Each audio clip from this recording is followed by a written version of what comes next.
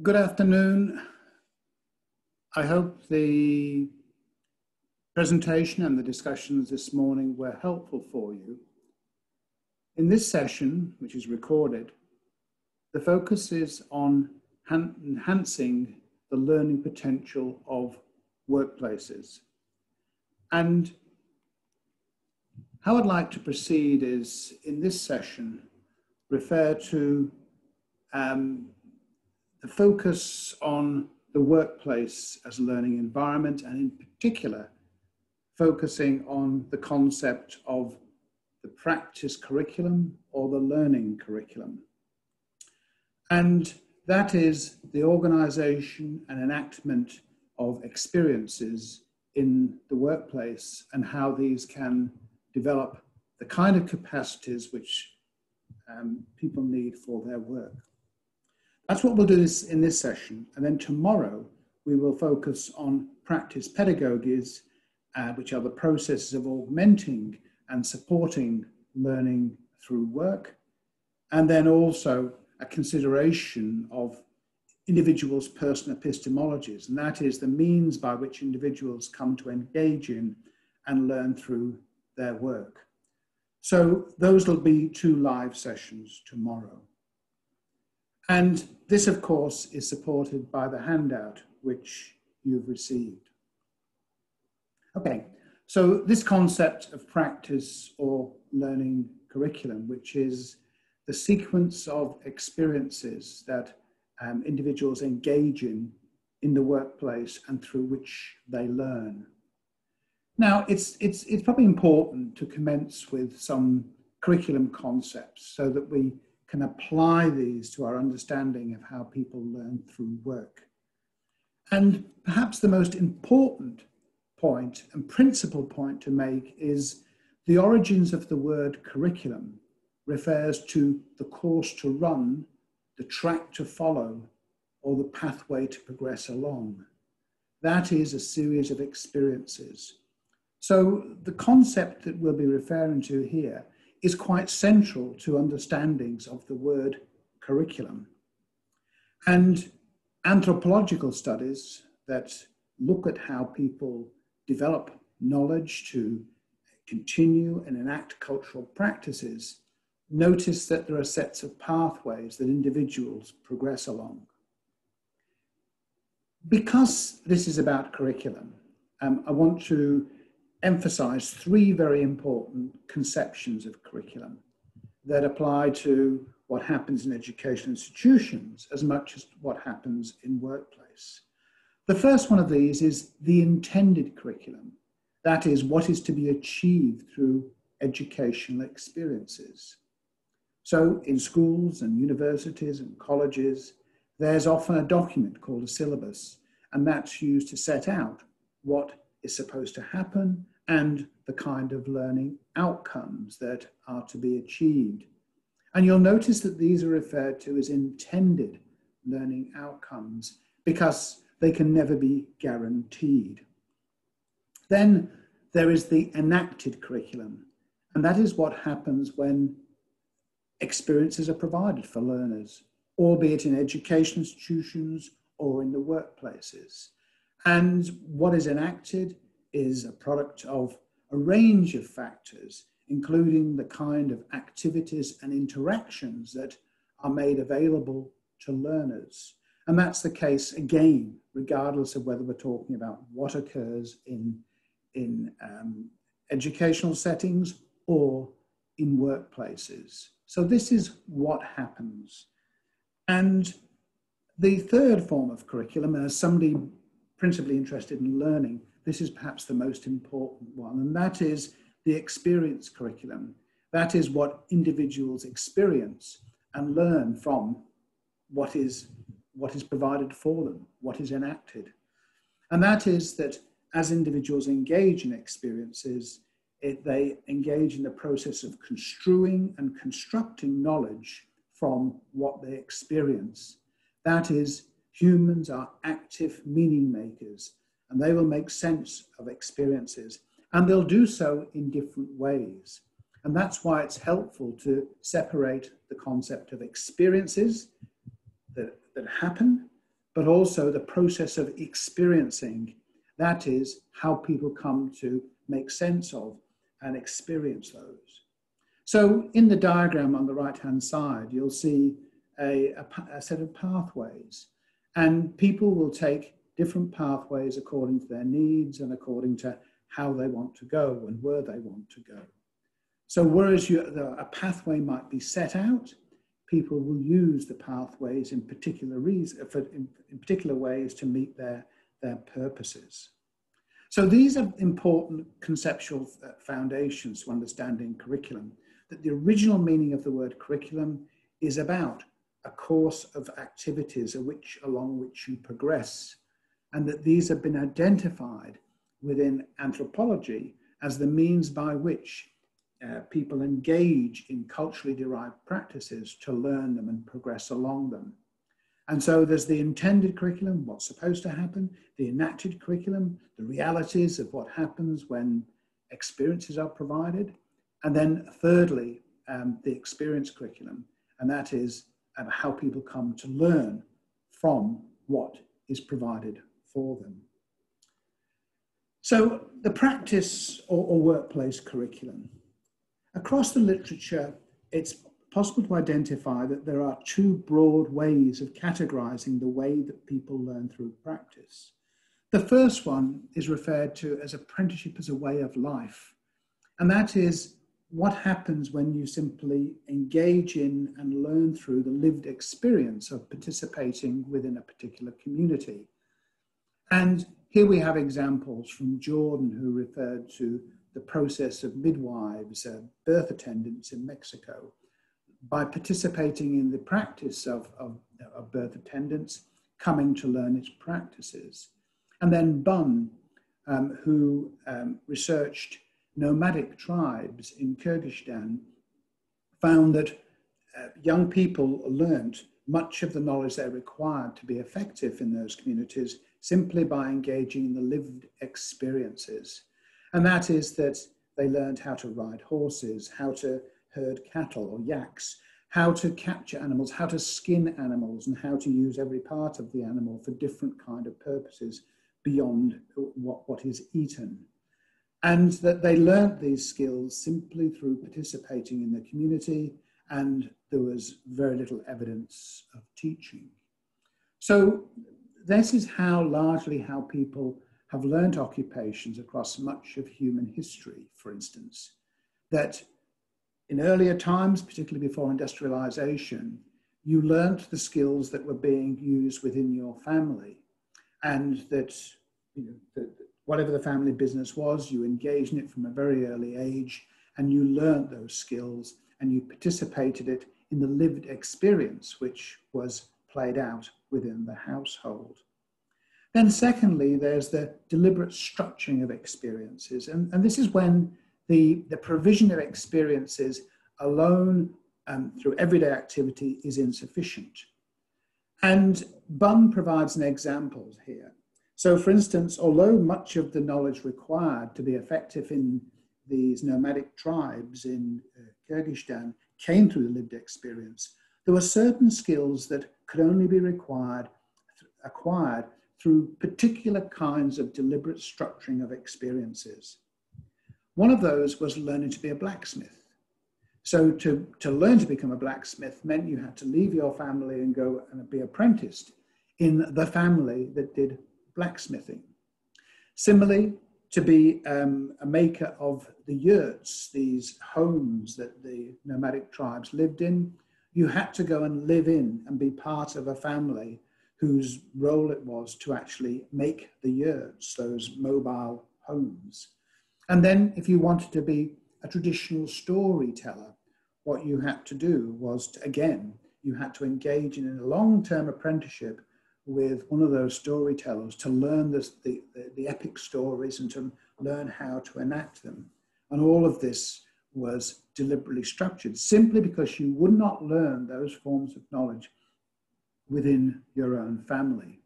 Now, as we stand back and look in contemporary times, it's far more likely that we will learn through deliberate structuring of experiences rather than apprenticeship as a way of life.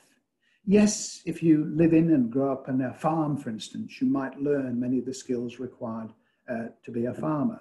But most of the skills that we learn um, have to come from other experiences, structured experiences, because uh, they're not part of our, our lived experience. So the ordering of experiences seems to be important.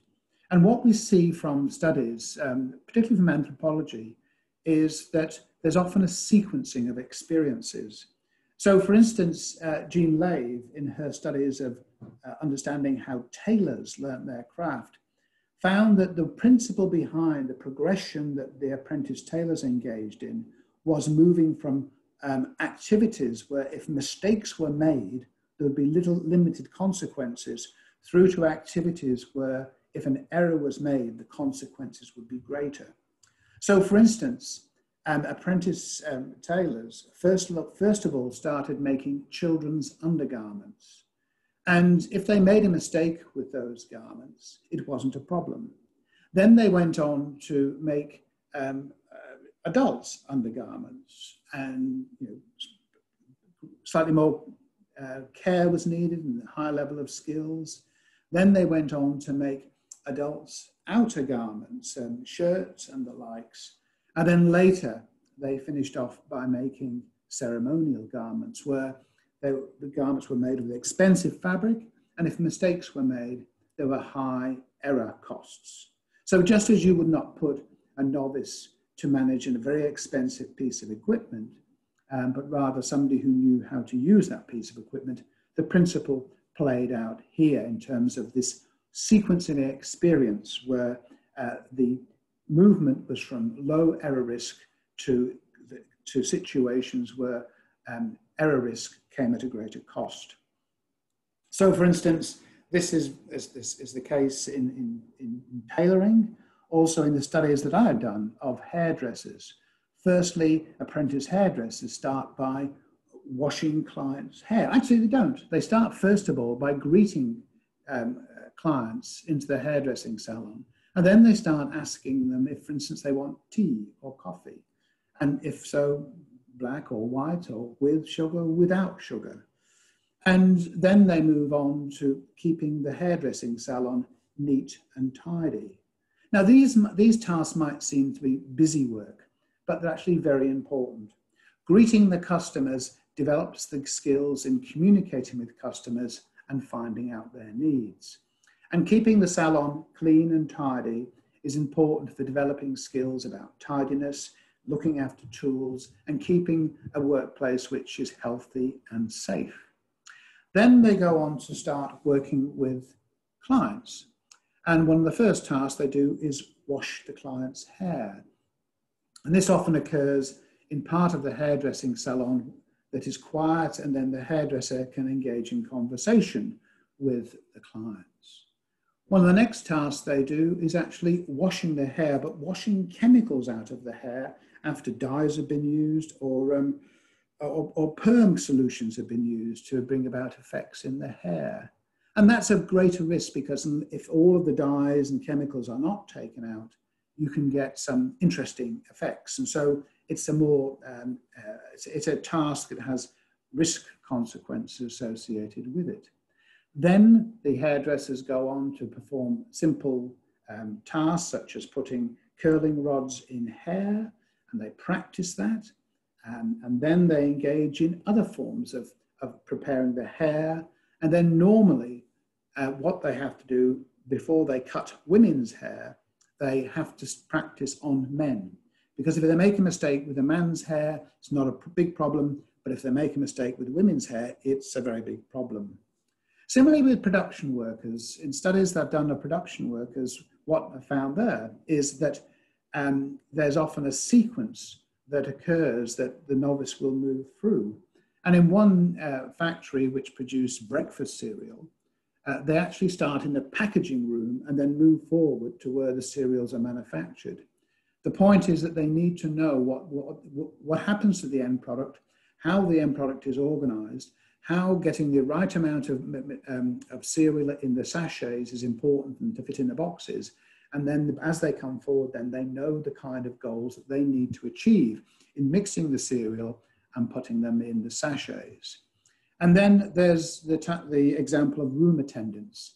Now, this is a small hotel in Singapore called the Marina Bay, uh, Marina Bay Sands, I beg your pardon. It's a 1,300 rooms and it dominates the um, skyline around the harbour area. And this um, hotel, as I said, has 1,300 rooms, but they have great difficulty hiring room attendants in Singapore because Singaporeans don't want to do this kind of work. So they bring people over from, um, from mainland China, from Thailand, Indonesia, etc., to do this, this kind of work.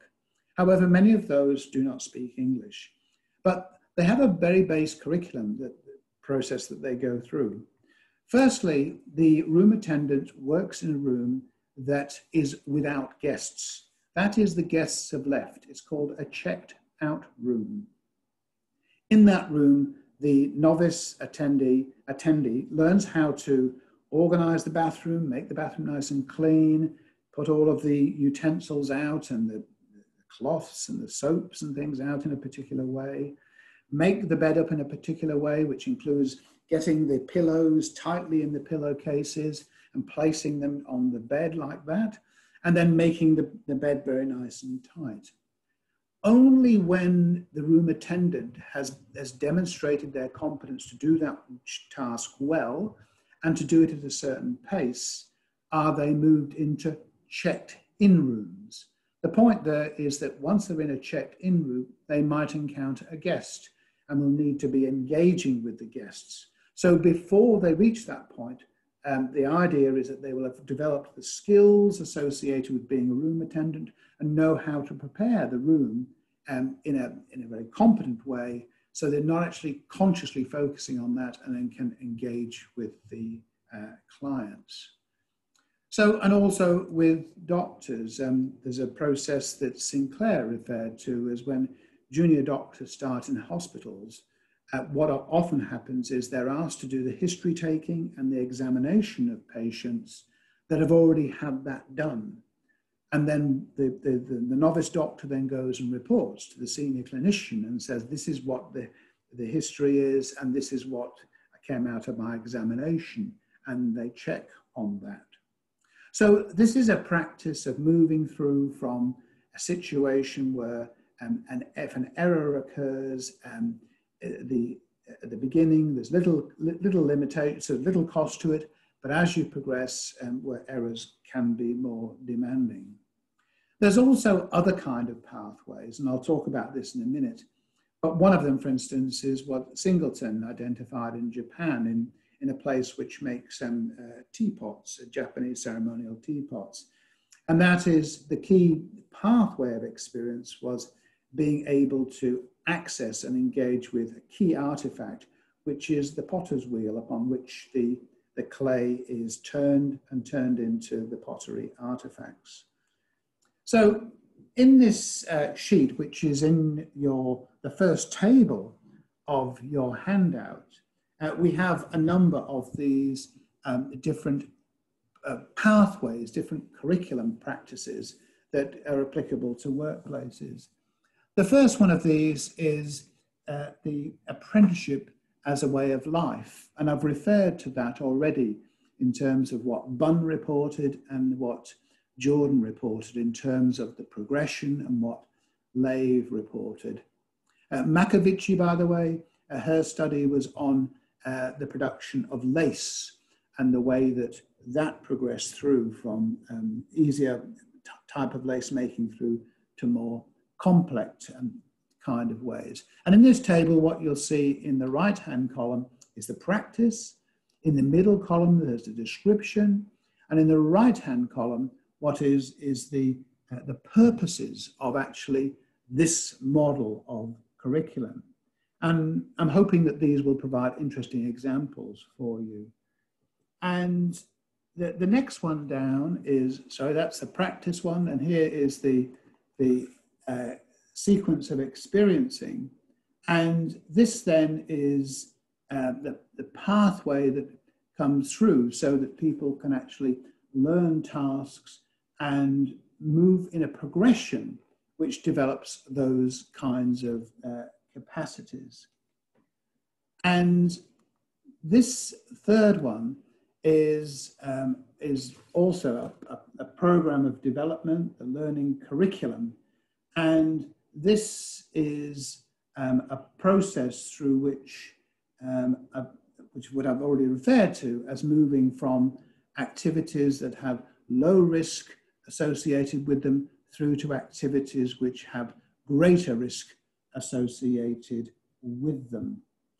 And the fourth one is the one from the pottery studies. And what, what happens here is that the, the sequence of learning is very much dependent upon the novice's access to the potter's wheel.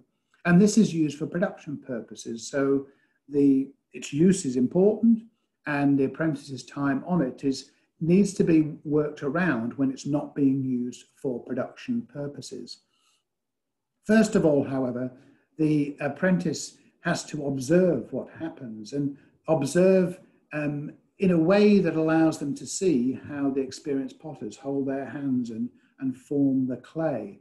And they do that observation while they're engaged in cleaning activities in and around the potting potter wheel. And then what they do is then they actually um, are able to use the potter's wheel during lunch breaks and in the evenings when the wheel isn't being used. And they can experiment on it and try and get the sense of, of feel for it. And then they move on to having structured practice to build their capacities um, more effectively. And then eventually they engage in a process of, of, of a series of activities of making fairly basic pots, which are then used for particular purposes and perhaps sold to cover the cost of their, um, uh, their apprenticeship. And then the, the, the fifth model here, I'm just going to explain, is, is what's called parallel practice. And this is when um, the novice does something in parallel with the more experienced worker. So in the case of a medical student, in this case, learning how to um, do examinations and history taking of patients, what happens is that the medical student or junior doctor works in a parallel consulting room to the experienced doctor. And the, the student or junior medical doctor will do the history taking of the patient and do the examination of the patient, and then will ask the qualified doctor to come in and they'll share with them the history taking and the, uh, uh, the results of their examination, and then they'll discuss then the treatment. So all of these are different pathways of activities, and they're based upon the idea that there's a particular sequence of activities. However, the sequence of those activities are associated with what is applicable to the particular workplace. That one of the key ones that's been reported here is moving through from engaging activities where if you make a mistake, it's not a problem, and then moving on to more and more complex. So many years ago, um, I was working in the clothing industry, and, and as a, a, pattern maker, what I did first of all was make the interlining patterns for garments and also the lining patterns for garments. And once I developed those skills, I was allowed then to start cutting the patterns for the cloth components of garments. So once I developed the skills and the accuracy in my pattern making, smoothness of line, etc., I was allowed to move through. And then the final thing that um, I, I learned how to pattern cut was the making of collars, which are very important and have to be done prop properly. So these are um, models of curriculum. Now, how do we work out the, the pathway of of, of the experiences that we need to organize in a particular workplace. So developing the workplace curriculum. And from some studies done earlier, um, it would seem that, that the following are helpful. Firstly, um, need to identify the sequence of act activities to be learned. So um, what, in what sequence should the activities ideally be learned? And then identifying those that are hard to learn. So why is that important? Well, one of the reasons for identifying um, tasks that are hard to learn is that um, these are the activities which most likely require particular support or particular augmentation. These are the activities which likely require particular workplace pedagogies to assist the learning. So there are lots of things that, as with the lived experience, you can learn through observation and imitation. There'll also be some things which require um, um, engagement and support to learn. So, for instance, one of the few instances of teaching that you can identify in the anthropological literature associated with learning cultural practices is hands on, and that is when potters place their hands upon the hands of apprentices to help them get the feel of the clay as the clay is turning on the, on the potter's wheel so they, they get the sense of it because it's difficult for the, no, the novice to get that, that sense of feel. So identifying those things which are hard to learn, they can become the target for, um, for use, the use of, of, of um, practice pedagogies, which we'll talk about uh, tomorrow.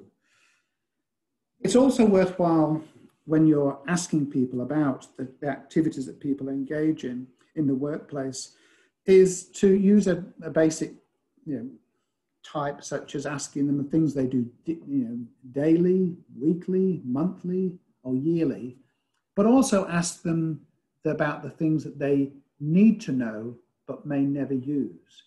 So by looking at things that are done daily, you get the sense of the routine activities that need to be learn, learned. Then monthly things that occur from time to time, which you know, um, not happening all the time, but need to be done. And then yearly events that come up at least once a year. So for instance, hairdressers often find a real challenge in catering to a bridal party where all the women come in and there's a need to make their hair in some way look consistent. And they might have very different types of hair, they might have very different types of history of treatments in their hair. And this then becomes a, a task which they don't have to face every week. But it comes up um, from time to time, and this is something they need to learn to do. So you can ask people what they do, you know, uh, daily, weekly, monthly. It's also interesting because in many workplaces, there are particular times of the week or times of the day when work becomes very intense. So, in the hospitality sector, for instance, the service time of meals or preparation for meals if you're working in the kitchen, these are very busy times.